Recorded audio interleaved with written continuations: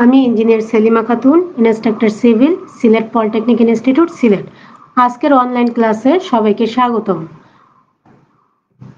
আজ আমি foundation engineering সাবজেক্টের ব্যারিং ক্যাপাসিটি অফ সয়েল নিয়ে আলোচনা করব। আজকের আলোচনায় থাকবে মাটির ভারবহন ক্ষমতা ও চরম ভারবহন ক্ষমতা। এছাড়াও বিশেষ কিছু রকমের ভারবহন ক্ষমতা আমরা ব্যবহার করে থাকি, সেগুলো সম্পর্কে আলোচনা করব। স্ট্যান্ডার্ড পেন্টেশন টেস্ট, অর্থাৎ এসপিটি এর মাধ্যমে চরম ভারবহন ক্ষমতা নির্ণয় তার জাগীয় ভারবহন ক্ষমতা ও ভারবহন ক্ষমতার গুণকগুলো চিনব এবং জানব, বিভিন্ন প্রকার ফুটিং এর জন্য চরম ভারবহন ক্ষমতা নির্ণয়, কাদা এবং বেলে মাটির জন্য চরম ভারবহন ক্ষমতা নির্ণয়, কাদা এবং বেলে মাটির অনুমোদনযোগ্য ভারবহন ক্ষমতা নির্ণয় মাটির অনুমোদনযোগ্য ভারবহন ক্ষমতার হিসাব। দ্যাট মিনস আমরা অঙ্ক করব প্লেট ব্যারিং টেস্টের পদ্ধতি। অর্থাৎ প্লেট ব্যারিং টেস্টের মাধ্যমে ভারবহন ক্ষমতা নির্ণয় করব এবং ভারবহন ক্ষমতা বৃদ্ধির বিভিন্ন পদ্ধতি সম্পর্ক সম্পর্কে আলোচনা হবে। এবার আমাদের পড়ার মধ্যে চলে আসি। ভার বহন ক্ষমতা কাকে বলে? ভার বহন ক্ষমতা, পাশে একটি ছবি দিয়েছি, একটু ভালো করে লক্ষ্য করো। এটি হলো আমাদের একটি ফাউন্ডেশন নিচের চ্যাপ্টার অংশটাকে আমরা বলব ফুটিং উপর থেকে সুপারস্ট্রাকচার যে লোড আসছে, সেটা হলো বড় হাতের ডাব্লিউ এবং ফুটিং এর টোটাল এরিয়াকে বড় হাতের এ বলব। এবং যখন উপর থেকে যে লোডটা দিচ্ছে, মাটি যদি ব্যর্থ না হয়, সেক্ষেত্রে স্থির অবস্থায় থাকে, তখন ভাবতে হবে যে অবশ্যই মাটি নিচ থেকে সমান পরিমাণ তাকে রিয়াকশন দিচ্ছে, তাহলে স্থির থাকা সম্ভব। তাই না? তাহলে যে রিয়াকশনগুলো দিচ্ছে, সেগুলোকে আবার আমি দেখো, উল্টো দিক থেকে অ্যারো চিহ্ন দিয়ে দেখিয়েছি। প্রতি একক এরিয়ার জন্য যে প্রতিক্রিয়া বল দিচ্ছে সেগুলোকে আমি ছোট হাতের কিউ দিয়ে নির্দেশ করেছি। এগুলোই ছিল আমার বেয়ারিং ক্যাপাসিটি তাহলে সংজ্ঞা আকারে আমি বলতে পারি, মাটি প্রতি একক ক্ষেত্রে যে পরিমাণ ভর বহন করতে সক্ষম, তাকে মাটির ভার বহন ক্ষমতা বলে। তবে মনে রাখতে হবে, অবশ্যই বসন ও শেয়ার ফেলার ব্যতি রেখে। তাহলে সূত্রটা কি হবে? Q equal to W by A ছোট হাতের Q equal to W by A যেখানে ছোট হাতের কিউ বলতে ভারবহন ক্ষমতা ডাব্লিউ বলতে ভর বা মোট ভর এ বলতে টোটাল ক্ষেত্রফল। ভারবহন ক্ষমতা শিখলাম, এবার আসি আমরা চরম ভারবহন ক্ষমতা। চরম বলতে কি? একেবারে আলটিমেট সর্বশেষ পর্যায়ের ভার, তাই না? তাহলে এটা একটু ইউ ইউ দিয়ে আমরা নির্দেশ করেছি। দেখো, মাটি প্রতি একক ক্ষেত্রে যে পরিমাণ চরম ভার বহন করতে সক্ষম, তাকে মাটির চরম ভার বহন ক্ষমতা বলে। তাহলে যেহেতু আমি বলছি চরম, চরমের চেয়ে বেশি হলে কি হবে? অবশ্যই ফেল করবে, তাই না? তাই বলা যাচ্ছে বসন ও শেয়ার ফেলার হওয়ার পূর্ব মুহূর্তে জাস্ট পূর্ব মুহূর্তে যে লোডটা আমি পাবো, সেটাকে আমি আলটিমেট লোড বলব। তাহলে সেই লোডের জন্য যে ভারবহন ক্ষমতা পাবো, সেটাই ছিল আমার আলটিমেট ব্যারিং ক্যাপাসিটি এই আলটিমেটের জন্য আমি একটা ইউ ব্যবহার করেছি। তাহলে Q U equal to W U by A এখানে ডাব্লিউ ইউ বলতে আলটিমেট লোডকে বোঝানো হয়েছে। এবার আসি আমরা এসপিটি টেস্টের মাধ্যমে ভার বহন ক্ষমতা নির্ণয়। SPT standard penetration test penetration মানে কি? ছিদ্র করা। তাহলে ছিদ্র করতে আমার কি কি প্রয়োজন হবে? মূলত আমি যখন ম্যানুয়ালি ছিদ্র করব, তখন আমি পোস্ট হল আগার দিয়ে হাতে হাতে ছিদ্র করব এবং এরপরে স্ট্যান্ডার্ড স্পিল্ড স্পুন স্যাম্পলার যার মধ্যে স্যাম্পল থাকবে। স্যাম্পলার বলতে পারি আমরা। এই স্যাম্পলারের মাধ্যমে স্যাম্পলটা তুলে আনব নিচ থেকে। তাহলে স্যাম্পলারে আবার তিনটা অংশ থাকে। এটি হলো শো এটি হলো ব্যারেল এবং এটি হলো হেড তাহলে আমরা এটার প্রত্যেকটা একটা নির্দিষ্ট মাপ রয়েছে। মাপগুলো আমরা দেখে নিব। এবার আসি, এই সেট ধরেই স্ট্যান্ডার্ড পেন্টেশন টেস্টের সেট ধরেই ম্যাটেরিয়াল মালগুলো পাওয়া যায় এবং যা দিয়ে আমরা টেস্ট করে থাকি, এই টেস্টটা অবশ্যই ফিল্ডে করা হয়, যেখানে আমার মাটির ব্যারিং ক্যাপাসিটি জানার প্রয়োজন। তাহলে আসি, আমরা ভিডিওটা একটু দেখে নেই। পোস্ট অগার দিয়ে মাটিটাকে প্রথমে ছিদ্র করে নিচ্ছি। আমার যতটুকু প্রয়োজন।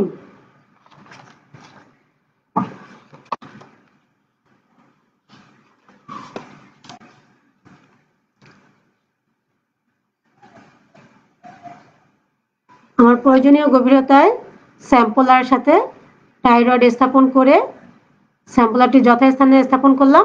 এবং এটা যেন ভার্টিক্যাল থাকে, অর্থাৎ লোড যেন আমার ভার্টিক্যালি পড়ে, এর জন্য একটি ব্যবস্থা নিব সেটা কি একটি কাঠের বোর্ডকে আমি ছিদ্র করে নিয়েছি। ঢুকে চারপাশে কাঠ দিয়ে শক্ত করে মজবুত করে দিয়েছি যেন এটা না নড়ে এবং লক্ষ্য করো, পনেরো সেন্টিমিটার পর পর, এখান থেকে পনেরো সেন্টিমিটার পনেরো সেন্টিমিটার পনেরো সেন্টিমিটার তিনটি দাগ কেটেছি। এবার একটু আমরা লক্ষ্য করি পনেরো সেন্টিমিটার পনেরো সেন্টিমিটার তিনটি দাগ কাটার পরে এটা হলো আমার অ্যানভিল এটা হলো হ্যামার হ্যামারের ওজন হলো পঁয়ষট্টি কেজি এবং হ্যামারের এখান থেকে এই অ্যানভিল পর্যন্ত দূরত্ব হলো পঁচাত্তর সেন্টিমিটার আর এটির ওজন হলো পঁয়ষট্টি কেজি এটা ফ্রি ভাবে ছেড়ে দিতে হবে যেন অ্যানভিলের উপরে আঘাত করে। আঘাত করলে কি হবে? আমার স্যাম্পলার এই আঘাতের সাহায্যে মাটির মধ্যে প্রবেশ করবে। তাই না? তাহলে দেখি কীভাবে আঘাত করছে। এখানে লক্ষণীয় তোমার প্রথম পনেরো সেন্টিমিটার প্রবেশ করতে যে আঘাতের সংখ্যা প্রয়োজন হবে, সেটা আমরা বিবেচনায় নিব না বা হিসাবে আনব না। আঘাতটা মূলত আমরা মিনিটে ত্রিশ বার করা উত্তম বা এভাবেই চলতে থাকবে। এবার লক্ষ্য করি আমার পনেরো সেন্টিমিটার ঢুকেছিল প্রথম আঘাতে এবং পরবর্তী আঘাতগুলিতে ত্রিশ সেন্টিমিটার। দ্যাট মিনস পঁয়তাল্লিশ সেন্টিমিটার টোটালটা আমার প্রবেশ করেছে। এখন আমার এই সাপোর্টটা তুলে ফেলব। জাস্ট এটা সাহায্যকারী একটি সাপোর্ট ছিল, যেন ভার্টিক্যালি লোডটা পড়ে।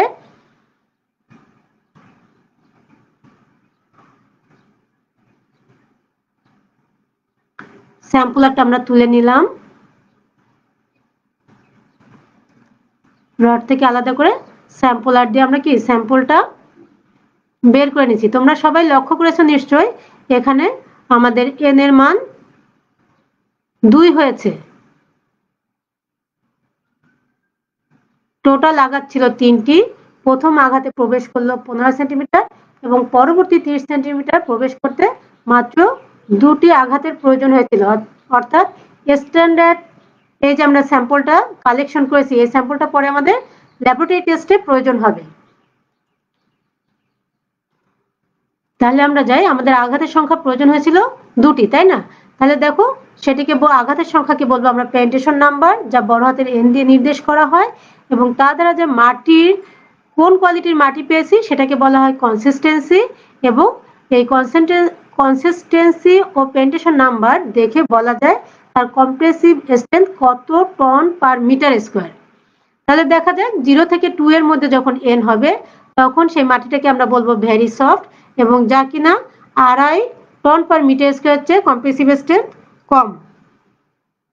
এবার আসি যদি পেন্টেশন নাম্বার দুই থেকে চারের মধ্যে হয়, তখন আমরা বলব সফট যা আড়াই থেকে পাঁচের মধ্যে কম্প্রেসিভ স্ট্রেংথ থাকবে।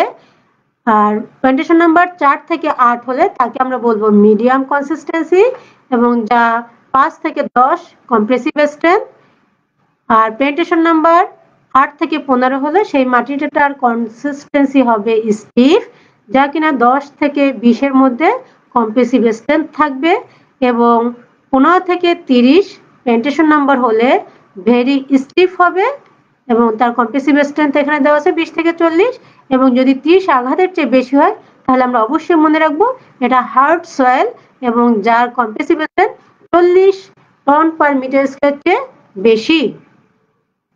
তাহলে এক্ষেত্রে আমরা মিডিয়ামটা যদি মনে রাখতে পারি, এর চেয়ে সফট কি হার্ড কি স্টিপ এটা আমরা বিবেচনায় আনতে পারব, তাই না? তাহলে আমরা পরবর্তীতে যাই। আমরা যে স্যাম্পলার থেকে স্যাম্পল কালেক্ট করেছিলাম ল্যাবরেটরি টেস্টের জন্য, তাহলে ল্যাবরেটরি আমরা কি কি টেস্ট করব? হ্যাঁ ল্যাবরেটরি টেস্ট করব গ্রেন সাইজ অ্যানালাইসিস অর্থাৎ গ্রেন সাইজগুলো ওয়েল গ্রেড আছে কিনা, কত ডায়া সাইজ আছে, এগুলো অ্যানালাইসিস করব।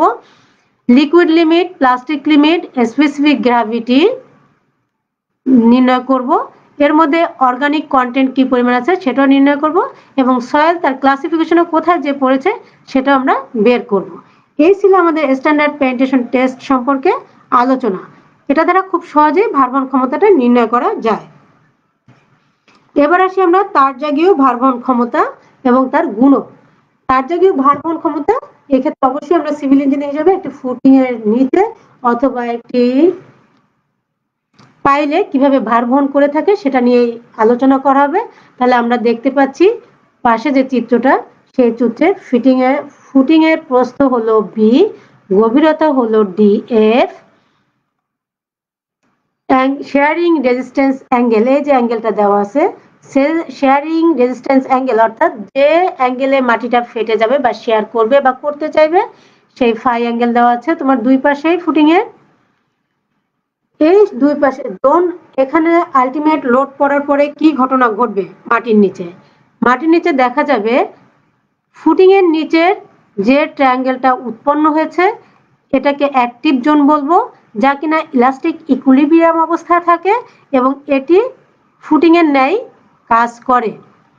কিন্তু দ্বিতীয় যে আমি লগারিদমিক স্ফিরিক্যাল শেপের একটি ট্রায়াঙ্গেল দেখতে পাচ্ছি, দুপাশে দুটি, এটাকে বলব zone two radial shear zone নামে পরিচিত। এবং এটি প্লাস্টিক ইকুইলিব্রিয়াম অবস্থায় থাকে। এবং দুপাশে দুটি ফুটিং এর নিচে নয় ফুটিং এর পাশে লেভেলে দুপাশে দুটি ট্রায়াঙ্গেলার জোন থাকে, এটা জোন থ্রি একে বলব আমি প্যাসিভ জোন তাহলে জোনগুলো আমরা চিনতে পারলাম। Active zone radial shear zone এবং প্যাসিভ জোন আর উপরে যে মাটির দ্বারা চাপ থাকে, এটাকে বলা হয় সার চার্জ এবং এই মাটির যে একক আয়তন ওজনকে ইউনিট বলা হয়। লক্ষ্য রাখবে, এখানে কিন্তু আমাদের তিনটি জোন ওয়ান টু থ্রি অথবা ওয়ান টু থ্রি তিনটি জোন। এবার আসি এই তিনটি জোনের জন্য তার জাগি যে সূত্রটা দিয়েছেন আলটিমেট ব্যারিং ক্যাপাসিটির সেটা হলো কি ইউ দ্বারা আলটিমেট ব্যারিং ক্যাপাসিটি বোঝাচ্ছে, তা হলো C N C plus gamma D F N Q plus point five gamma B N gamma আমরা তিনটি জোনে যেমন শিখেছিলাম, ঠিক তেমনই দেখো, এই সূত্রে কিন্তু তিনটি জোন আছে। এটা হলো সূত্রের জন্য আমি বলছি, এটা কোহেশন জোন, এটা সারচার্জ জোন, আর এটা হলো ব্যারিং ক্যাপাসিটি জোন। তাহলে কোহেশন জোনের এটি সি হলো কোহেশন ডিএফ গামা হলো মাটির ইউনিট ওয়েট আমি আগেই বলেছি, ভিত্তির গভীরতা এবং ইউনিট ওয়েট অফ সয়েল আর বি হলো ভিত্তির প্রস্থ। এগুলো আমরা আগেই জেনেছি। এখন বাকি আছে N C, N Q, N gamma. তাহলে এখানে যে ফ্যাক্টর এনসি অর্থাৎ কোহেশন ফ্যাক্টর এটা বলেছিলাম শার্ট চার্জের জন্য। তাহলে শার্ট চার্জ ফ্যাক্টর এবং এটা বলেছিলাম ইউনিট ওয়েটের জন্য। তাই ইউনিট ওয়েট ফ্যাক্টর মনে থাকবে তো? সূত্রটার তিনটি অংশ থাকবে। আমরা আরেকবার বলে নিই, Q U equal to C N C plus gamma D F N Q plus point five gamma B N gamma মনে রাখবে, এই সূত্রটা কিন্তু তার জাগি সি এবং ফাই সয়েলের জন্য ও স্টিফ ফুটিং এর জন্য বিবেচনা করেছিলেন। এবার আসি, যে ফ্যাক্টরগুলো পড়েছি, সেই ফ্যাক্টরটা কোন সূত্রের সাহায্যে নির্ণয় করা হয়? তাহলে এক্ষেত্রে আমরা সার্চার্জ ফ্যাক্টর আগে দেখে নিই। সার্চার্জ ফ্যাক্টর হলো এন কিউ তাই না? তাহলে এন কিউ ইকুয়াল টু আমরা লিখব power two into zero point seven five five minus five by two into ten five by দিব two cos square five plus five by two N Q যদি আমরা বের করতে পারি, তাহলে এখান থেকে সি কোয়েশন ফ্যাক্টরটা বের করতে পারব। যা কিনা N Q minus one into cot five এবং অবশেষে আমরা কি বের করব? United ফ্যাক্টরটা point five ten five into passive earth pressure coefficient by cos square five minus one তোমরা সূত্র দেখে একটুও ভয় পাবে না, কারণ এই সূত্রের সাহায্যে আমাদের সচরাচর মানগুলো বের করতে হয় না। এটা আমরা একটা টেবিলের সাহায্যেই পেয়ে যাই। এবার আসি তার জাগি যখন সূত্রটা নিরূপণ করেছেন, তখন কিছু কিছু মৌলিক ধারণা নিয়ে নিয়েছেন। যা আমি তোমাদেরকে আগে কিছুটা বলেছি, সেটা ছিল ধারা ফুটিংটা ধারাবাহিক হবে ধারাবাহিক বলতে কি বোঝানো হয়েছে?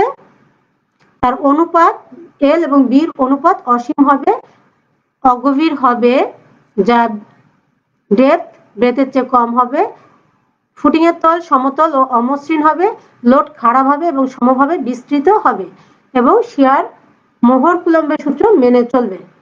এবার আসি ফ্রিকশন ফ্রিকশনাল কোহেসিভ সয়েল অর্থাৎ সি ফাই সয়েল সহজে বলব আমরা সি ফাই সয়েল সয়েলকে প্রধানত আমরা দুটি ভাগে ভাগ করতে পারি ইনঅর্গানিক এবং অর্গানিক আমরা ইঞ্জিনিয়ার হিসেবে অর্গানিক সয়েল নিয়ে কাজ করব না, যেহেতু আমাদের ভার বহন ক্ষমতার প্রয়োজন, তাই ইনঅর্গানিক সয়েল নিয়ে কাজ করব। তোমরা মনে রাখবে, আমরা ইনঅর্গানিক সয়েল নিয়ে কাজ করব। ইনঅর্গানিক সয়েলকে দুভাগে ভাগ করেছি কোহেসিভ সয়েল এবং non cohesive question less soil বা নন কোহেসিভ সয়েল বলে কোহেসিভ সয়েলের মধ্যে রয়েছে কেলে এবং সিল্ট আর কোহেশন লেস বা নন কোহেসিভ সয়েলকে স্যান্ড গ্রাভেল এবং স্টোন বলে। তাহলে মনে রাখবা কোহেসিভ অর্থাৎ সি সয়েল কোহেশন লেস অর্থাৎ ফাই সয়েল এবার আসি আমরা মূলত সূত্রটা তৈরি করা ছিল স্টিপ ফুটিং এর জন্য। এছাড়াও কিন্তু আমার স্কোয়ার রেক্টেঙ্গুলার এবং সার্কুলার ফুটিং রয়েছে। স্কোয়ার ফুটিং এর জন্য বি এবং দৈর্ঘ্য এবং প্রস্থ দুটোটাই বি রেক্টেঙ্গুলার জন্য দৈর্ঘ্য বি কিন্তু প্রস্থ বি কিন্তু দৈর্ঘ্যটা হবে তোমার এল আর সার্কুলার জন্য যেহেতু ডায়া সর্বদিকেই সমান, অতএব দুইও অ্যাক্সিসেই বি হবে। তাহলে আমরা দেখি ফুটিং এর আকার ভেদে কীভাবে আমরা সূত্রটা লিখতে পারি, তাই না? তাহলে আসি। স্টিপ ফুটিং এর জন্য সূত্রটা তো আমরা আগেই মুখস্থ করেছি। তাহলে আয়তাকার ফুটিং এর জন্য কি হচ্ছে? আয়তাকার ফুটিং এর জন্য যেহেতু বি এবং এল ডিফারেন্স তাহলে বি এল এর অনুপাতের সাথে পয়েন্ট থ্রি গুণ দিব প্লাস ওয়ান দিয়ে সিএনসির সাথে গুণ করলে আমার আয়তাকার ফুটিং এর সূত্রটা চলে আসবে। এবং এখানে বিশেষ করে মনে রাখতে হবে পয়েন্ট ফোর আয়তাকার ফুটিং এর জন্য। এবার আসি বর্গাকার ফুটিং এর জন্য। বি এবং এল সমান বিধায়, এটা হয়ে গেল one point three C N C gamma D F N Q plus point four gamma B N gamma অর্থাৎ আয়তাকার ফুটিং বর্গাকার ফুটিং এরই একটি রূপ। কিন্তু বৃত্তাকার ফুটিং এর জন্য এই ক্ষেত্রে আবার ঠিক আছে, লক্ষ্য করি বাট এখানে পয়েন্ট ফোর এর জায়গায় পয়েন্ট থ্রি চলে এসেছে। একটু বিবেচনা, তোমরা প্রথম সূত্রটা মুখস্থ রাখবে এবং পরেরগুলো বিবেচনায় লিখে ফেলতে পারব আমরা। এবার আসি, আমরা কেন এটা করছি? আলটিমেট লোডের কারণে ফেইলার হওয়া, তাই না? শেয়ার ফেলার হবে। তাহলে শেয়ার ফেলার কি কি শেয়ার ফেলার হতে পারে? প্রথমটা আসি আমরা জেনারেল বা সাধারণ শেয়ার ফেলার এই ফেল শেয়ারের সময় লক্ষ্য রাখতে হবে ফুটিং থেকে আলটিমেট লোড পড়ায় ফুটিংটা কিছুটা নিচের দিকে দেবে যাবে এবং প্যাসিভ জোনটা ভার্টিক্যালি উপরের দিকে আপলোডেড হবে। পাশে খুব একটা বিস্তৃত হবে না। যা কিনা আমরা গ্রাফের সাহায্যে দেখব হরিজেন্টালি দিব লোড এবং ভার্টিক্যালি দিব সেটেলমেন্ট তাহলে এই জাতীয় একটা কার্ভ পাওয়া যাবে। তাহলে জেনারেল শেয়ার ফেইলিওর হলে আমরা বুঝতে পারব এটা ডেন্সি স্যান্ড অথবা স্টিপ কেলে যা কিনা সেটেলমেন্ট হবে প্রস্থের ফোর টু টেন পার্সেন্ট আর লোকাল শেয়ার ফেলের আমি দেখতে পারব দু পাশ থেকে কম লোড এসেছে এবং পাশে বিস্তৃত হয়েছে, যা কিনা একটি ঝাঁকি দিয়ে শুরু হয় এবং যার গ্রাফটা এই জাতীয় হবে। এটাকে বলা হবে এই ধরনের ফেইলর হলে তাকে আমরা বলব মিডিয়াম ডেন্সি স্যান্ড অথবা কম্প্রেসিবল সয়েল যা কিনা ব্রায়তে fifteen to twenty five percent settlement হয়। অর্থাৎ এখানে দেবে যাবে বেশি। এবার আসি পাঞ্চিং শেয়ার এই ক্ষেত্রে লক্ষ্য করি ফুটিং এর দুপাশ থেকে ফেটে যে সোজা নিচের দিকে চলে যাবে একটা ঝাঁকি দিয়ে, যার ডায়াগ্রামটা ডাইরেক্ট নিচে চলে আসে এবং পাশ থেকে কোনো ফোলা দেখা যায় না। এই ক্ষেত্রে আমরা বুঝতে পারব লুজ স্যান্ড অথবা সফট কেলে যা আমাদের ফাউন্ডেশন ডিজাইনের জন্য উপযুক্ত নয়। এবার আসি আমরা সি সয়েল কাকে বলে? নিশ্চয়ই তোমাদের ছবিগুলো পরিচিত। এগুলো হলো আমাদের সি সয়েল সি সয়েল যখন আমি বলেছিলাম না সয়েলের জন্য গামা। এগুলোর মান একটা টেবিলের মাধ্যমে আমরা বের করতে পারি। সয়েলের জন্য মনে রাখবে সরাসরি জিরো। তাহলে এই কোএফিসিয়েন্টগুলোর মান কত হবে? হ্যাঁ কোন ফেলারের ক্ষেত্রে? জেনারেল ফেলার না local shear failure general shear ফেলারে দেখো মান আসছে ফাইভ পয়েন্ট সেভেন ওয়ান এবং জিরো এবং লোকাল শেয়ার ফেলারের জন্য five point seven one zero অর্থাৎ সি সয়েলের জন্য কখনো তোমাকে এই ফ্যাক্টরগুলো নিয়ে চিন্তা করতে হবে না five point seven one zero এটা মনে রাখলেই চলবে। আমাদের আরও প্রয়োজন হবে থার্টি ফাইভ এর জন্য।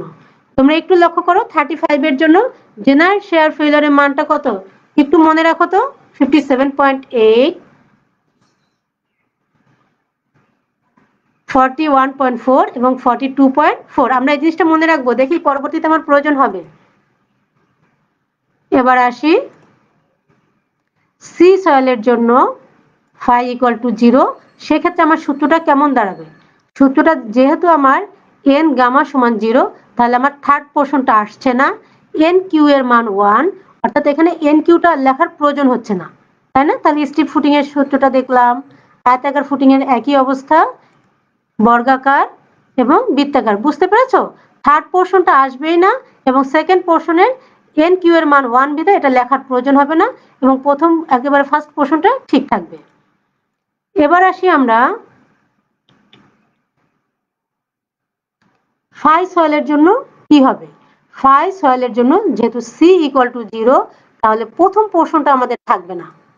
আমরা লক্ষ্য করি প্রথম পোর্শনটা নেই এবং মধ্যের ও শেষের পোর্শনটা যথারীতি আছে। এবার আসি, আমি কিন্তু সি এবং ফাইভ দুটো সয়েলই এখানে এঁকেছি। যে সয়েলের জন্যই হোক না কেন এরকম ফেইলরই হোক না কেন, তার জন্য আমাকে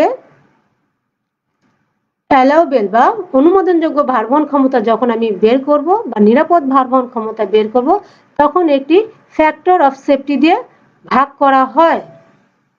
এটা সাধারণত তিন থেকে চার ধরা হয়।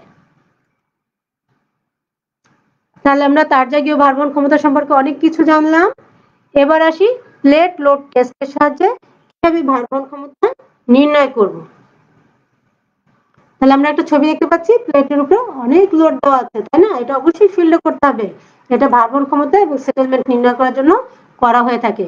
শুধু বালির বস্তা দিয়ে নাও, টেস্ট দিয়েও করা হয়। আচ্ছা তাহলে আমরা দেখো হাইড্রোলিক জ্যাকের সাহায্যে প্রেসার ক্রিয়েট করে এখানে প্রেসার মেপে থাকি। তাহলে আমরা একটু ছোট্ট একটা ভিডিও দেখে নেই কীভাবে লোড দেওয়া হচ্ছে। টেস্টটা করা হচ্ছে। এই যে আমাদের হাইড্রোলিক জ্যাক স্থাপন করা হয়ে গেছে। লোড দেওয়া হয়েছে। এখানে পাম্পের সাহায্যে প্রেসার দেওয়া হচ্ছে। দুপাশে দুটি সেটেল মেন গ্যাস দেওয়া আছে আর এটা কিন্তু পাম্পের সাথে কি আছে? প্রেসার গ্যাস দেওয়া আছে। কীভাবে আমরা বিমের উপরে লোডগুলো দিয়েছি এবং মনে রাখতে হবে আমার সেন্টারে কিন্তু পাম্পটা স্থাপন করতে হবে।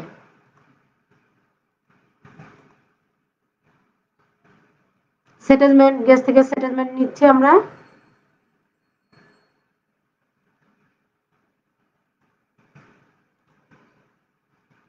সেটেলমেন্ট এবং প্রেশার দুটাই আমাকে রিডিং নিতে হবে।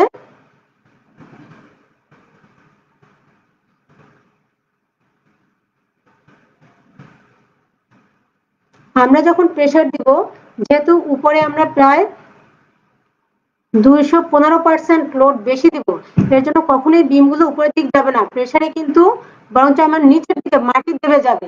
যার জন্য দেখো আমার পিস্টনটা যখন উপরে ধাক্কা দিচ্ছে ওভারঅল আমার মাটি সেটেল করে যাচ্ছে।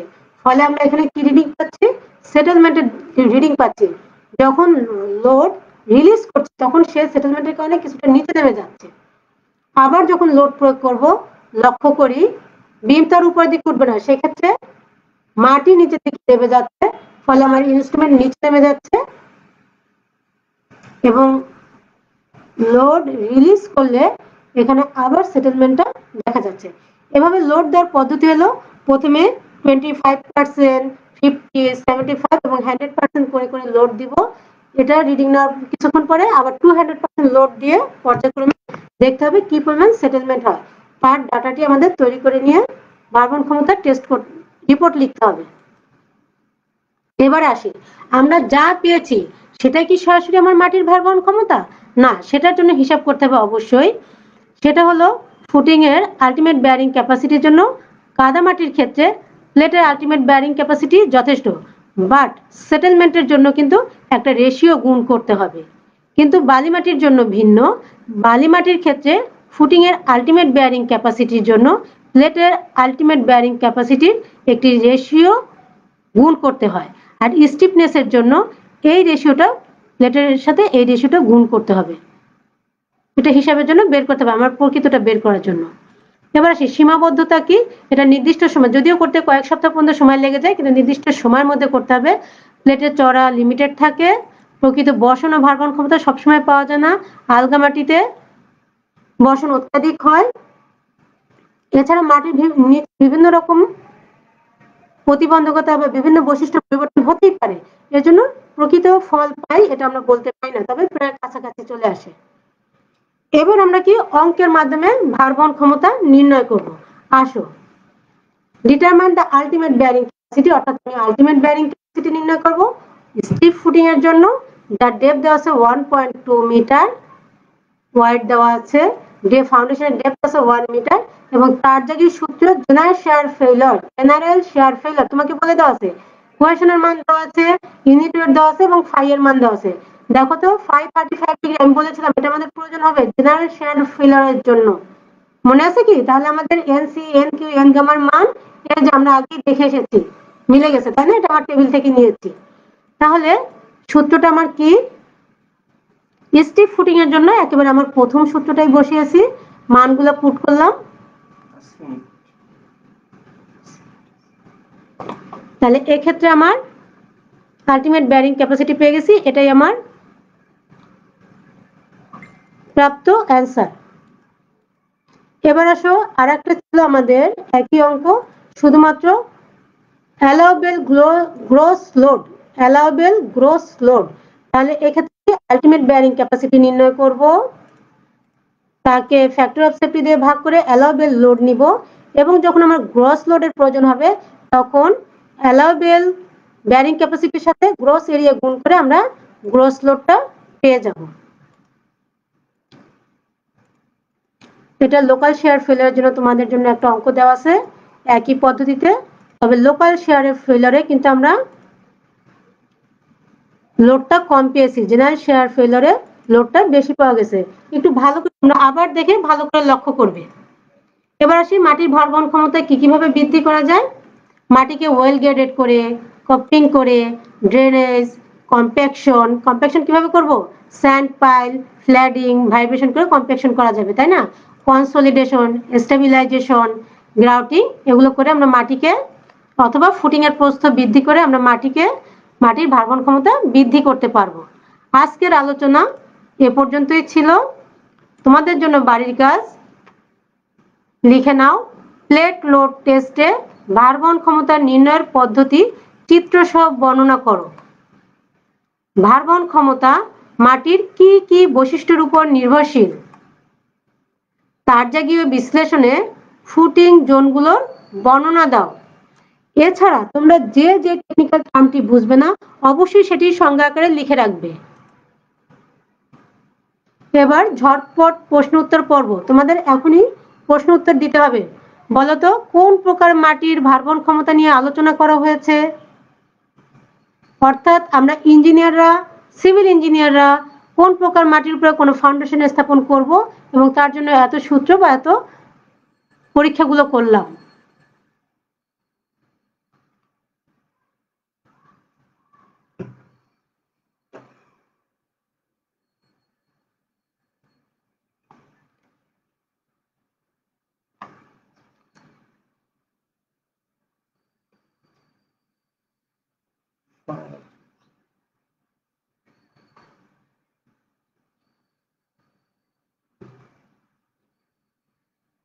আচ্ছা তোমাদের জন্য শেষ প্রশ্ন।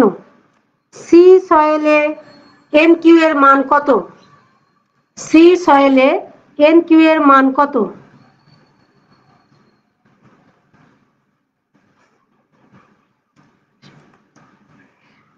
আচ্ছা আজকে এখানে এই পর্যন্ত শেষ। তোমাদের কোনো কমেন্টস দেখতে পারলাম না। পেলাম না। আগামী ক্লাসে পাইল নিয়ে আলোচনা হবে।